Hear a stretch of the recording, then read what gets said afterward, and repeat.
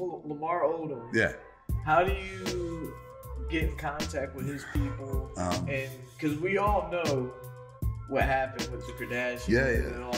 How do you get in touch with his people and say, "Yo, let's get this celebrity boxing thing going"? Well, I got in touch with Lamar himself because I just reached out. I'm a, you know, I reached out to him on Instagram and he got back to me. He was like, yeah, a little boxer, a little Philly too. And I was like, damn, this is great. I was like, started talking for a couple weeks. Finally got in touch with the lady, handled him, Danita, who's helping us, uh, Savvy Girl Consulting. We're working with them in Atlanta.